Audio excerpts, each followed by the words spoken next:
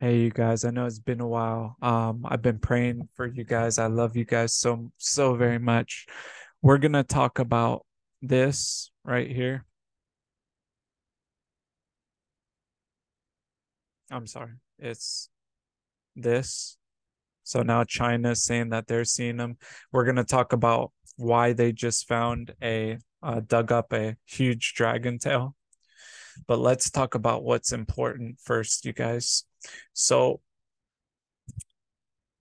brothers and sisters, the greatest thing that we can do, the greatest thing that we will be judged by is love.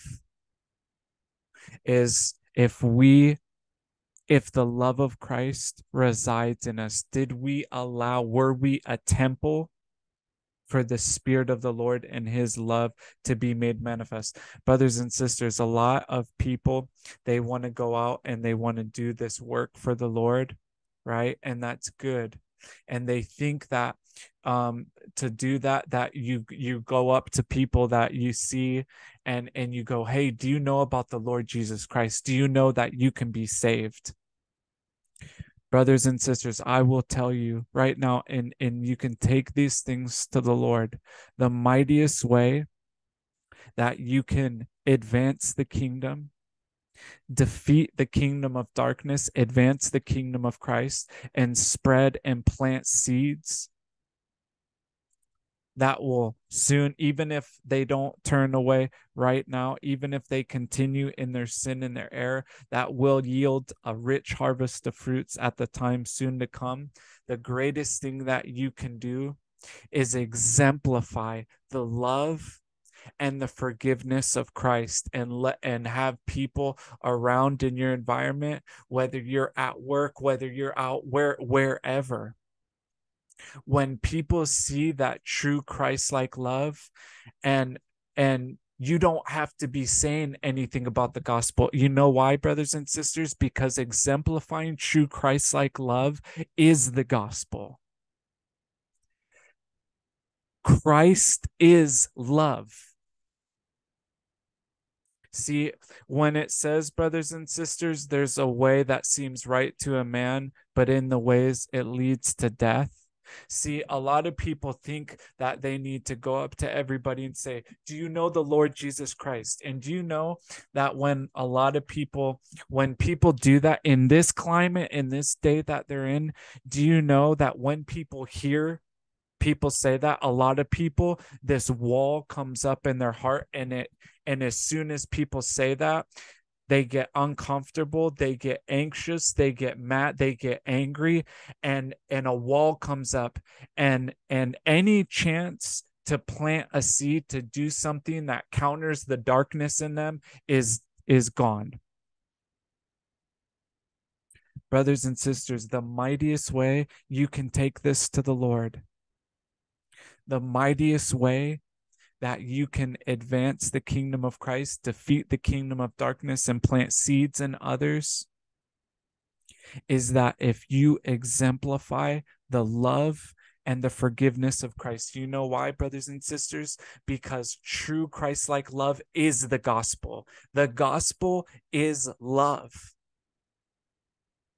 And people think that, oh you have to go out and and you have to get this person to say yes i accept jesus. Uh, and some brothers and sisters those are good things right? But that is not going by some by you getting somebody to say that does not change their heart. That is does not change their heart. That does not mean there's going to be an internal transformation. But if they see and experience that Christ-like love in coming inside of their temples, that forgiveness coming inside of them, that is what will plant seeds. That is what changes people. That is what counters the darkness. Do you know by somebody doing something wicked and evil and angry to you, by you exemplifying grace and forgiveness? Because that's what we all have done, right? We were enemies of the cross and God forgave us. But yet, when somebody does something to us, we get mad and angry. Brothers and sisters, do you know that me talking about this sort of radical grace and this type of love do you know that there's many christians that will hear me talking about this and they say they say and they believe all these things that oh yeah you yeah we can do that but we also don't let the we also um you know forgive but never forget or we have to stand up for what we believe in.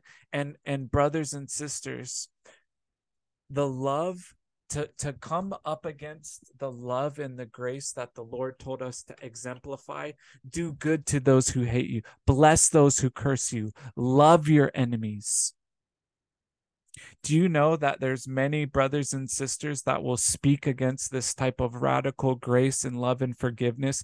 Do you know what that is? And they know the gospel. They know many things of the word of God. Do you know what that is in them? That is the spirit of antichrist. That is antichristos operating in people that call themselves believers. Brothers and sisters, there's a reason why this is called the age of deception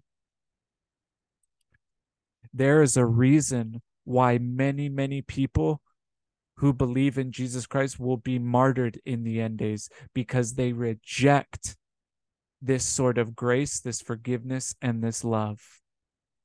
They don't believe it, they don't accept it. There's a reason why narrow is the way that the Lord said, narrow is the way that leads to salvation. What is salvation? Salvation is the redemption of the body, the receiving when the Lord comes to receiving the glorified body. It's a, it's it's a lot of brothers and sisters are going to earn their self their salvation brothers and sisters they're going to obtain it but it's going to be through martyrdom it's going to be by fire but there's a few brothers and sisters in the world that will glorify the Lord by their life, that will exemplify radical grace and love, even towards their enemies, even to them who did evil and mean and wicked and cruel things to them. That is the love of Christ made manifest. Father, forgive them, for they know not what they do as he was being slain. And if if there are believers that think that we are to not follow the steps of our lord to live as he did they are deceived brothers and sisters. That's anti-christos. That is antichrist. That is the spirit of antichrist operating in people that we know to be believers this day. So that being said brothers and sisters i'm just going to make this very short and sweet. You know a lot of people were saying when they saw that balloon come over Montana and then it went all the way over to that got shot down in North or South Carolina. They said, "Oh, it's a Chinese spy plane, spy plane, a spy balloon." I'm sorry, brothers and sisters. When principalities and powers and authorities manifestations of sin that have risen up and have manifested in the lower heavens. Sin and evil and evil powers, they have a spiritual form too when those are being driven out because the heavens are being made anew, Archangel Michael and a legion of angels and archangels in the judgment of the Lord God Almighty is moving and being loosed upon the evil angels, driving out the principles and powers and authorities, chieftain spirits, ruler spirits, dominions of darkness that are that have been operated in the lower heavens. They're being defeated, driven out of the heavens. The heavens are being made anew and the and the enemy has been cast to earth. Hence why we're seeing an article saying they've just dug, dug up a very well preserved dinosaur tail. What is a dinosaur? Also that's the same that's the dna of a dragon Okay. Now, as these evil angels and evil powers are being driven out of the lower heavens into our physical realm, it will take, some of them will take a physical form. Some of those things will take a physical form. And so that's what we're seeing. China is seeing them, right? Brothers and sisters, remember that because of the sins of mankind, because of the rebellion of God's people, uh, me and other brothers and sisters, the Lord has given given us this mes- message and told us for a long time there will be an invasion. There is going to be a literal boots on the ground invasion of this country. And this world, this evil beast system, this world that has been made manifest by the beast is going to burn away. It's going to burn up. I'm going to show you this.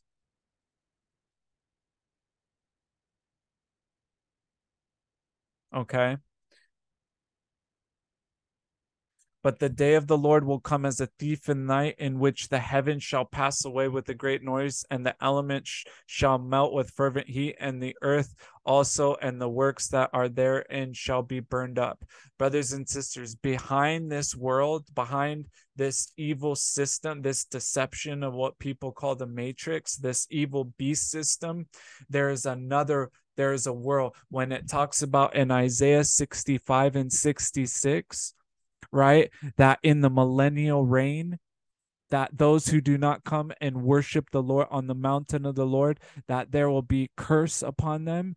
Brothers and sisters, there is another world that is growing. The kingdom of christ behind is being it is being it is growing. It is being made manifest. The children of god as they're led of the spirit there is another uh, something else that is being built but it's behind. We can't see it physically yet because this purpose of this wicked world is still is is it's coming to its end but this is all going to burn away and behind it right? Behind it is going to be when it says in Isaiah 65 and 66 I make a new heavens and a new earth right? There's also a new heavens and a new earth at the end of the millennial reign brothers and sisters. It talks about new heaven and new earth not just one time. There it's it happens at the end of the end of this world and the beginning of the millennial reign. And at the end of the millennial reign, when Satan is loosed again, there's another new heavens and a new earth when the Lord will dwell with us face to face. Hallelujah. And things will be perfect. There will be no sun and moon then, there will be no ocean then. Okay. But, um, and on the next video, brothers and sisters, I'm going to talk to you about what is the purpose of the law and why Jesus said he has come to fulfill the law. Why Jesus said, I come to fulfill the law, and what is the purpose of the law. We're going to talk about on the next video. I love you guys so much. God bless each and every one of you in the name of our Lord and Savior, Yeshua Mashiach.